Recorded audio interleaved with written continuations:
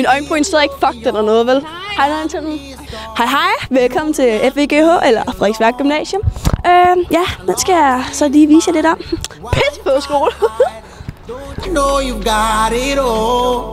I know when you're gone, you do your thing and you live. Det er min kollega, der går derop. Ja, det er, det altså vores kantine, som har fucking god mad. Øh, men den ser ikke helt sådan her ud. Der kan nemlig også ske det her.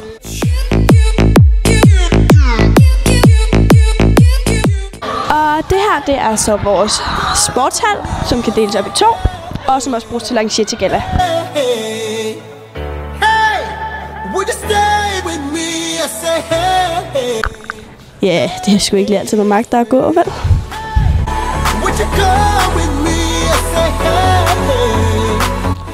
her, det er altså vores studie, eller, øh, eller bibliotek. Det er her, folk sidder og laver deres eksamener. Fedt liv.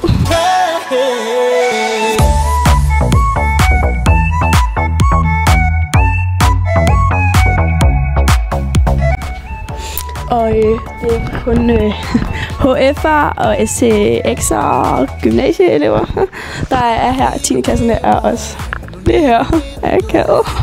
Everything a man could want. Ja, det her det er så kontoret.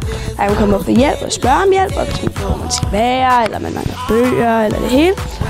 Så kan man øh, få hjælp hos de her to smukke damer.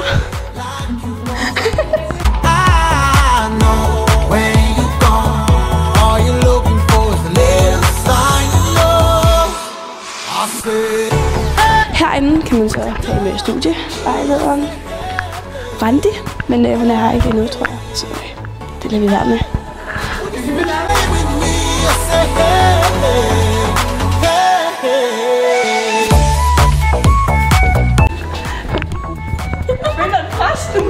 Og øh, det her det er så lærerværelset. Her kan man forvente, hvis man har drukket lidt for meget til en af deres fede fester.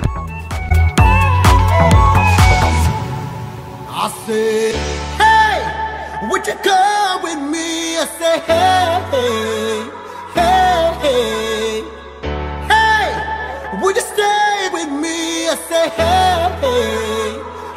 Og hvis man så ser hernede, så er det her, vi har øh, idræt om sommeren og det årlige rundbold.